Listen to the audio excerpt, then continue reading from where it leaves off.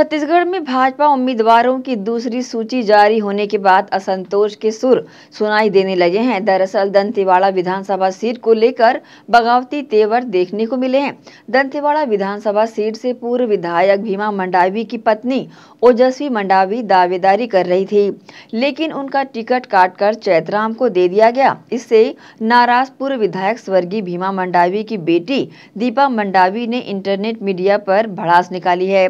दीपा मंडावी ने internet media में जारी किए गए वीडियो में कहा कि मेरे पिता भाजपा के लिए अपना बलिदान दे चुके हैं। पिता की मौत के बाद माँ ओजस्वी पार्टी में निरंतर सक्रिय रही। बावजूद इसके, पार्टी ने टिकट न देकर पिता के बलिदानी का अपमान किया है। नमस्कार। मैं दीपा मंडावी, स्वर्गीय भीमा मंडावी की बेटी। आज मैं इस वीडियो के माध्यम से हमारे भाजपा पार्टी के सभी कार्यकर्ताओं एवं नेताओं से ये पूछना चाहती हूँ कि पार्टी ने मेरी मम्मी श्रीमती ओजस्वी भीमा मंडावी को विधानसभा की टिकट ना देकर मेरे पापा के बलिदान को बेसत किया है। भले ही मेरी मम्मी राजनीति में नहीं है, पापा के जाने के बाद उन्होंने राजनीति में कदम रखा। लेकिन आज भी मेरे परिवार के हर सदस्य में इस पार्टी को लेकर वही सम्मान है जो मेरे पापा के अंदर थी।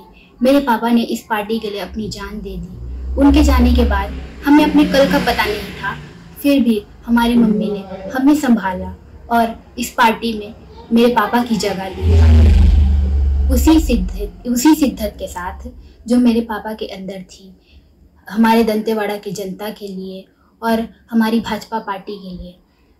क्या मेरे पापा के बलिदान की कोई कीमत नहीं है आप सभी पार्टी वालों के सामने? क्या मेरे पापा से कोई कमी रह गई?